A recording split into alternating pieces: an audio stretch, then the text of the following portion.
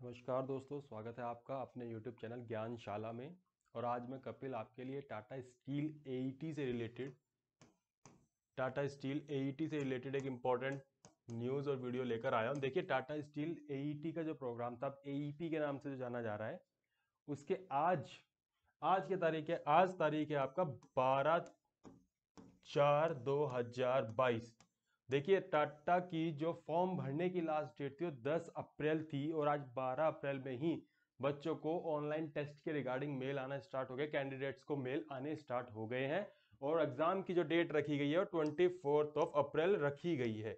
Twenty fourth of April exam की date रखी गई है और ये बात अभी हो सकता है कुछ लोगों को अभी मेल नहीं आए होंगे, किसी लोगों को आने लगे, किसी को नहीं आएँगे तो आप थोड़ा सा वेट करें, एक दो दिन का इंतज़ार करें, टाटा आपको मेल भेज देगा।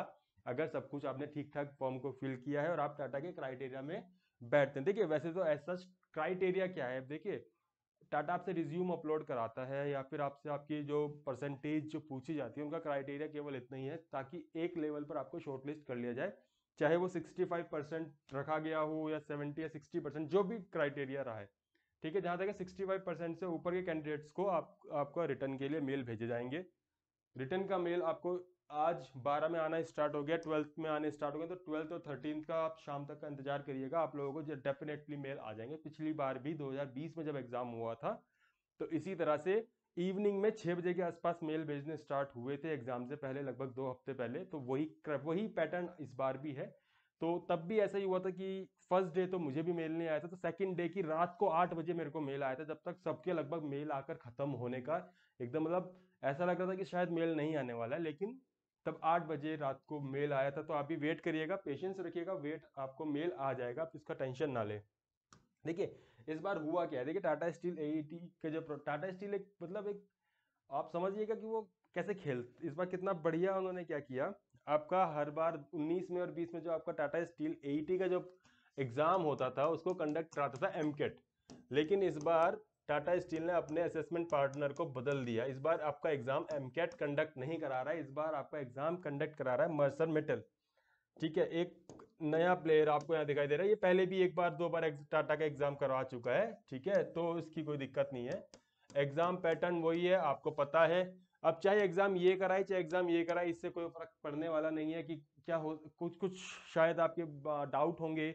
आप सोचते होंगे कि यार कौन पेपर टफ होगा, किसका पेपर टफ होता है, किसका इजी होता है कि एम कैट ईजी पेपर लेता है और मेटल टफ पेपर लेता है या फिर ये इजी लेता है, ऐसा कुछ नहीं है। सबका बेसिक मॉडल एक ही है, सब एक ही फंडे पे काम करते हैं और क्योंकि सबका एक पैटर्न अलग, देखिए एम का अपना एक पैटर्न अलग होगा और इसका पैटर्न अपना अलग होगा। टाइप ऑफ़ क्वेश्चन भी अलग हो सकते हैं, लेकिन इस बार साफ़ साफ़ आपको जो नोटिफिकेशन में लिखा हुआ है कि कॉग्निटिव टेस्ट होगा। क्या होता है कॉग्निटिव टेस्ट इसके बारे में थोड़ा सा भी डिटेल में देखेंगे कि आपको क्या देखना चाहिए और कैसे कैसे आपको आगे थोड़ी सी स्ट्रेटेजी अपनी बनानी होगी इस टेस्ट के लिए कि कैसे आपकी स्ट्रेटेजी होनी चाहिए। कॉग्निटिव प्लस डोमेन जो टेस्ट होने वाला है तो इन चीज़ों को हम थोड़ा सा देखेंगे, कैसे हम इसको थोड़ा सा अब दस दिन जो हमारे पास है, उसमें कैसे इसको तैयार करेंगे। देखिए पेपर आपका नॉर्मल होगा, कोई दिक्कत नहीं, कौन करा रहा है? मेटल कराए या फिर आपका एम कैट कराए कोई फ़र्क नहीं पड़ने वाला है। पेपर आपका नॉर्मल कॉग्नेटिव पेपर है। वो जो टक्कर टेस्ट का पैटर्न है थोड़ा सा अब नंबर ऑफ़ क्वेश्चन कितने आएँगे ये नहीं पता। नंबर ऑफ़ क्वेश्चन यानी कि आपका इंग्लिश आएगा कि नहीं आएगा रीजनिंग होगा क्वांट होगा क्या होगा अभी पैटर्न के बारे में कुछ नहीं पता है। तो थोड़ा सा हम देखेंगे कि आप कैसे हम जज करें कि पेपर में क्या आएगा और कैसे उसको पढ़ें।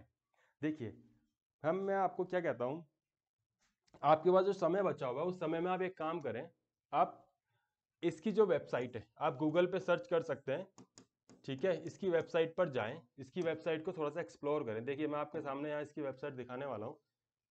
ये है। ये मैंने यहाँ पर गूगल में सर्च किया हुआ है, ठीक है? ये आप गूगल में जब सर्च करेंगे आपका मर्सा मेटल को, आप यहाँ पर देख सकते हैं, इन्हीं की वेबसाइट मैंने खोली हुई है, ठीक है? मेटल डॉट कॉम की।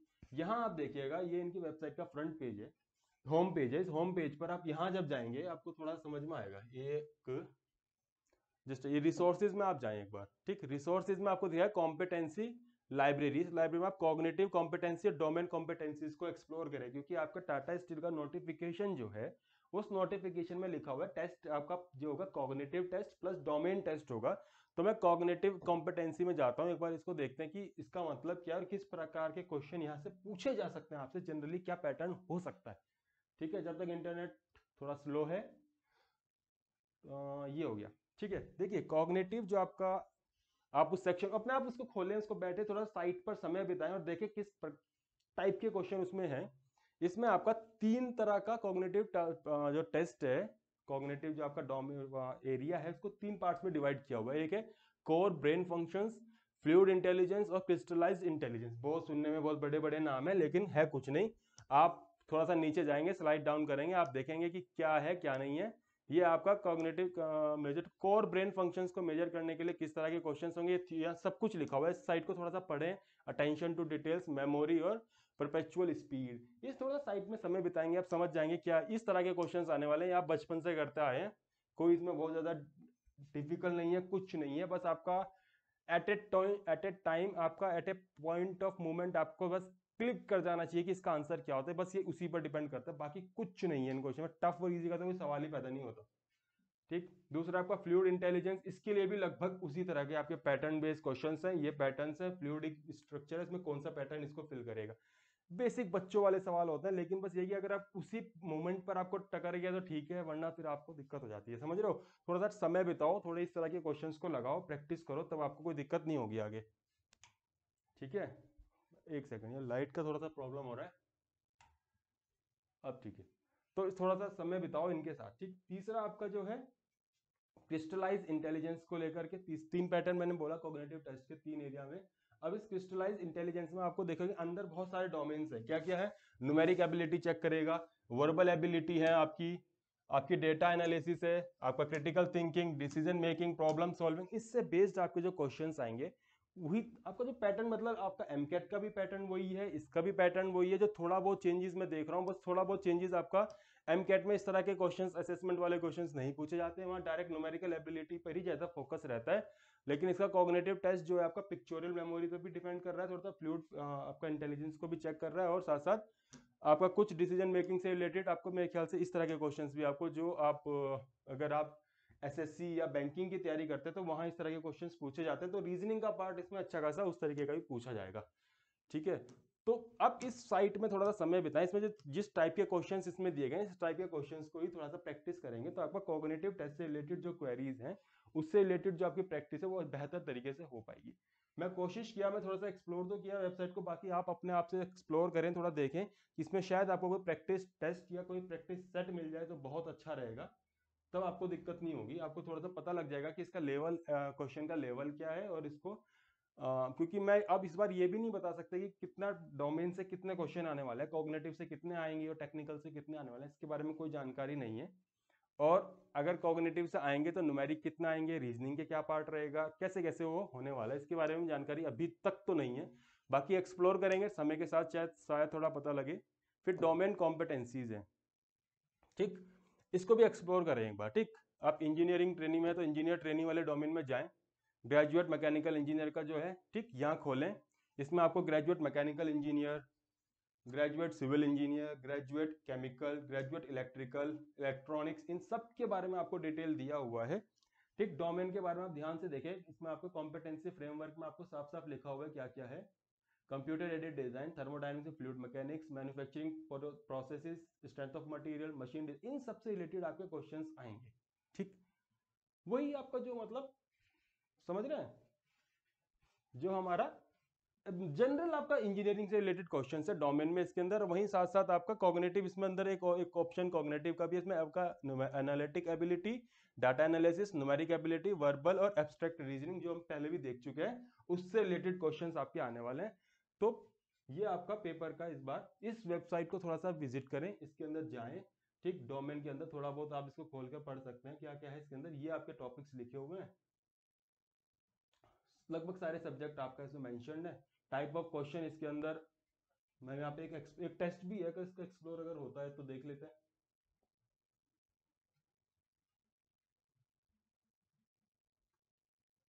इससे आपको थोड़ा बहुत वेबसाइट को थोड़ा आप देखेंगे, थोड़ा उसके बारे में जानेंगे तो आपको थोड़ा सा पता चल जाएगा कि ये असल में आपके किस चीज़ पर खेलते हैं, इनका एग्ज़ाम का लेवल क्या है, किस तरह के क्वेश्चंस जनरली ये पूछते हैं, ठीक है? ये आपका इंस्ट्रूमेंटेशन इंजीनियरिंग का असेसमेंट टेस्ट 30 मिनट का 30 क्वेश्चन, मेरे ख्याल से पेपर में भी आपका ऐसे ही पैटर्न होने वाला है, शायद आपको 30 मिनट में 30 क्वेश्चन मिल जाए या फिर 20 मिनट में 20 क्वेश्चन मिल जाए, जो एम का पैटर्न था 20 मिनट में 20 क्वेश्चन का था तो शायद यहाँ टेक्निकल डोमेन में आपको 30 मिनट में 30 क्वेश्चन देखने को मिल जाए। तो इसको आप ध्यान से देखिए इलेक्ट्रिकल वाले अटेम्प्ट कर सकते इलेक्ट्रॉनिक्स वाले क्वेश्चन को अटेम्प्ट कर सकते हैं। उनके लिए फ्री है केमिकल के लिए भी खुला हुआ है सिविल के लिए भी है इलेक्ट्रिकल के लिए भी है बट प्रोडक्शन इंजीनियरिंग के लिए अवेलेबल ऑन रिक्वेस्ट होगा। इंस्ट्रूमेंटेशन के लिए खुला है टेक्निकल सपोर्ट इंजीनियर के लिए भी अवेलेबल है पेट्रोकेमिकल के लिए नहीं है। Aptitude test for automobile engineering के लिए भी नहीं है, सिविल के लिए भी खुला हुआ है, मैकेनिकल के लिए एक टेस्ट यहाँ खुला हुआ है। तो आप इस तरीके से इसको थोड़ा एक्सप्लोर करें और देखिए वेबसाइट को। आपसे थोड़ा सा टाइप ऑफ़ क्वेश्चंस के बारे में, थोड़ा सा आपको अपने डोमेन से रिलेटेड क्या उसका स्टैंडर्ड है पेपर का, किस तरह के क्वेश्चंस पूछते आपको पता चलेगा, ठीक है? ये आपका है। आप इसको एक बार ट्राई करें क्वेश्चंस को देखें। डिफ़िकल्ट लेवल यहाँ पे अपने आप ये इजी लिखा हुआ अगर ये क्वेश्चन इजी टाइप के होंगे तो मैं जानता नहीं हूँ, आगे इसमें खोला नहीं है कभी। आप यहाँ से जाएँ और इसको एक्सप्लोर करें। बेसिकली ये वीडियो बनाने का फंडा ये है कि मैं आपको थोड़ा सा ये बता पाऊँ कि जो मेटल की वेबसाइट है, उसको थोड़ा सा एक्सप्लोर करें। जब तक आप उस वेबसाइट को एक्सप्लोर नहीं करेंगे तो आप उनकी मैंटेलिटी को नहीं समझेंगे, किस तरह के क्वेश्चन आपसे पूछेंगे। और आप थोड़ा सा आइडिया लगा लेंगे दो तीन दिन आप इस वेबसाइट के साथ देखेंगे क्वेश्चन देखेंगे तो आप थोड़ा सा आइडिया ज़रूर लगा लेंगे कि किस तरह का पेपर पैटर्न आपका होने वाला है और क्या क्वेश्चन आ सकते हैं। अगर कुछ टाइम मैं भी इसमें लगाऊँगा, अभी दो चार दिन मैं भी इसको देखूँगा एक्सप्लोर करूँगा, उसके बाद थोड़ा बहुत जो आइडिया मिलेगा और इससे पहले कहाँ का एग्ज़ाम कंडक्ट करा चुका है, अगर वो previous year question paper available है तो उनको भी प्रोवाइड करके, फिर देखेंगे कि किस तरह का होलसम किस तरह का ये पेपर पूछ सकता है, किस तरह के क्वेश्चन यहाँ से पूछे जा सकते हैं, उसको हम फिर एक दो दिन बाद थोड़ा सा ट्राई करेंगे, तब तक आप भी ट्राई करिएगा और मुझे अपने जो भी आपके व्यूज़ या जो भी आपका थोड़े से क्वेरीज हैं या फिर जो भी आपके इनपुट्स हैं वो कमेंट बॉक्स में ज़रूर लिखिए। कि आपने इससे क्या एक्सप्लोर किया और क्या इसमें आपको लगता है इससे प्रीवियस ईयर भी कहीं इसने जो एग्ज़ाम्स कराए उनके क्वेश्चन पेपर्स आपको मिल जाते हैं तो उसके बारे में थोड़ा सा आप अगर इन्फॉर्मेशन देंगे तो कोशिश करूँगा कि कलेक्टिव में एक ऐसी वीडियो बना पाऊँगा आपके लिए जहाँ मैं आपको थोड़ा सा ये हो जाएगा कि यहाँ किस तरह के क्वेश्चन आने वाले हैं ठीक है? और क्या एक आ, पेपर का पैटर्न हो सकता है कि कितने क्वेश्चंस टेक्निकल के कितने टाइम का आपका ड्यूरेशन क्या होने वाला है एग्ज़ाम का थोड़ा सा हम देख सकते हैं। ठीक है तो थोड़ा सा एक्सप्लोर करें इस चीज़ को।